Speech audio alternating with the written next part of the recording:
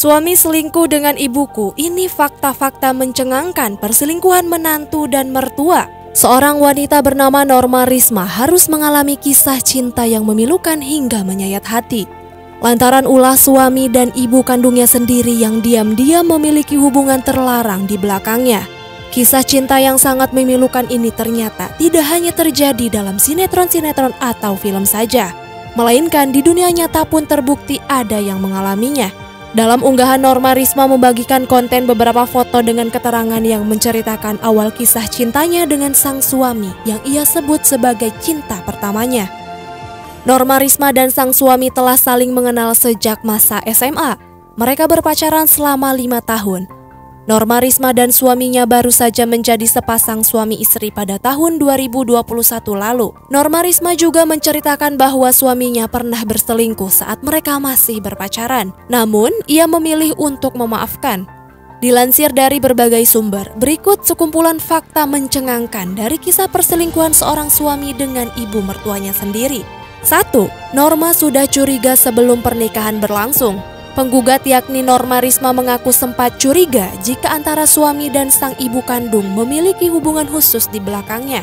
Tidak sampai di situ, Norma juga sempat menduga jika hubungan tersebut sudah berlanjut sampai keduanya melakukan hubungan badan tanpa sepengetahuannya.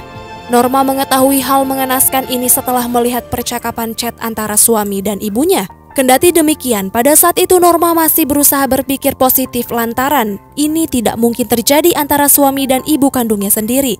Terlebih, keduanya sama-sama memutuskan untuk menikah. 2. Warga gerebek suami dan ibu mertuanya saat berhubungan badan. Rupanya desas-desus hubungan gelap suami dan ibu kandung Norma sudah tercium hingga ke telinga warga. Pasalnya, warga sekitar di mana ia tinggal sudah mencurigai jika adanya hubungan terlarang yang terjadi antara suami dan ibu mertuanya tersebut. Alhasil pada 16 November 2022 saat Norma tengah berada di luar rumah, warga pun dengan sigap melakukan aksi penggerbekan. Saat pintu rumah didobrak, keduanya pun tertangkap basah dalam keadaan telanjang bulat. 3 diarak untuk menemui Norma dan keluarga lainnya. Hubungan gelap keduanya akhirnya tertangkap basah oleh warga hingga membuat keduanya diarak paksa secara bersamaan untuk menghadap ke kediaman ketua RT setempat. Di hadapan Norma dan keluarga lainnya pun sang suami telah membuat surat perjanjian tertulis bahwa ia mengaku perbuatan bejatnya tersebut. 4. Pernah pesan PSK lewat aplikasi online. Selain berselingkuh dengan ibu mertuanya sendiri, diam-diam sang suami pernah memesan wanita panggilan seperti PSK melalui aplikasi online yang ada di ponsel genggamnya tersebut. 5. Tindak kekerasan dalam rumah tangga.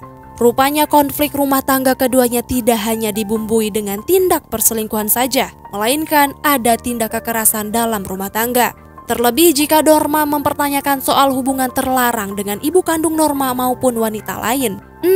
Norma alami trauma berat hingga gugat cerai. Melalui curhatannya di media sosial TikTok pribadinya, Norma mengaku sangat trauma atas kejadian yang menimpanya saat ini. Pasalnya ini terjadi oleh suami dan ibu kandungnya sendiri. Setelah sederet kejadian demi kejadian memilukan dialami olehnya, Norma Risma memutuskan untuk menggugat cerai suaminya. Gugatan ini pun terdaftar di Pengadilan Agama Serang. 7. Klarifikasi suami yang selingkuh setelah kasus ini viral melalui unggahan akun Facebook suami Norma Risma, Rozi Zai Hakiki, angkat bicara terkait kisahnya disebut selingkuh dengan ibu mertuanya sendiri. Dia meminta agar warganet tidak membuat keruh masalahnya.